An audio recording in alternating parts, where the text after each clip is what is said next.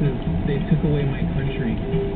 Somehow adding a beat to this poem makes it more tragic. I was just a working student. They took away my job. I made twenty dollars per until the bastards came and robbed me. They tore down the factory, they disassembled the machines, they shipped us off.